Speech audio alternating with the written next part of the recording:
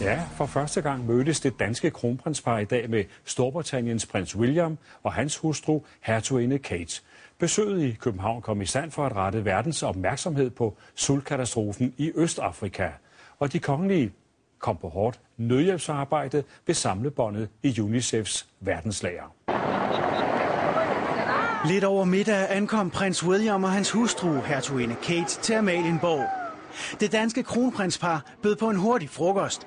En William og Frederik i den første bil, og Kate og Mary i den anden tog til UNICEFs verdenslager. Og en, der var særlig spændt, var Neil Jones, ansat i UNICEF i 11 år.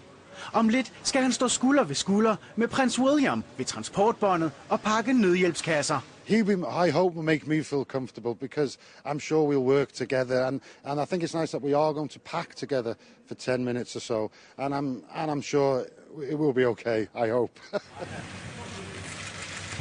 Besøgets formål er at kaste lys på sultkatastrofen i Østafrika. 13 millioner mennesker, heraf 320.000 børn sulter. Og et besøg af nogle af de mest kendte mennesker i verden hjælper. Forventer I, at det her vil kunne mærkes? Ja, det gør vi helt klart, og det ved vi faktisk, det kan, fordi vi ved allerede om nogle store donationer, der er på vej.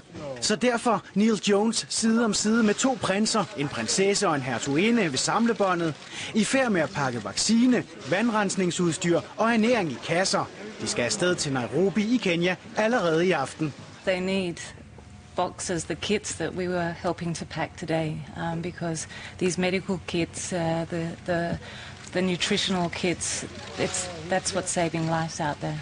And it's surprising to think that so little can save so many lives. Anyone who can do anything to help, um, please do. And Catherine, are you hopeful that being here can make a difference? Well, we really hope so to, put, to really put the spotlight back on, on this uh, terrible crisis. Og selvom parerne tydeligt nød hinandens selskab, så var der ingen tvivl om grunden til deres møde. This is about an ongoing thing that is very severe, and that we should all remember how privileged we are in our everyday lives in this part of the world, and that things don't come easy uh, in parts, and other parts of the world. Og Neil Jones, der havde en noget utraditionel kollega ved samlebåndet i dag, fik en afslappet snak med en landsmand.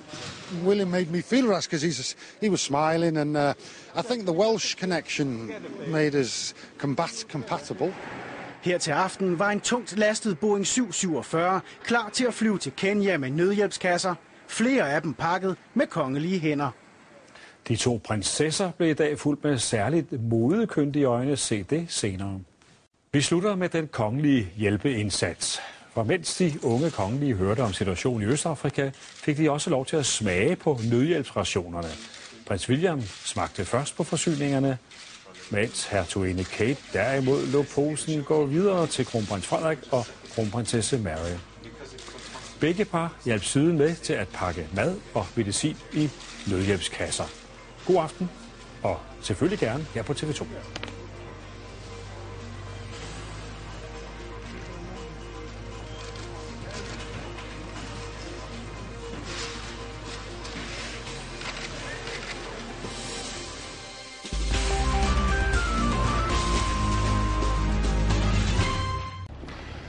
Well, we're told that this is a meeting of minds. Both royal couples increasingly concerned about the situation in East Africa. All four young, glamorous royals throwing their weight behind the work of UNICEF.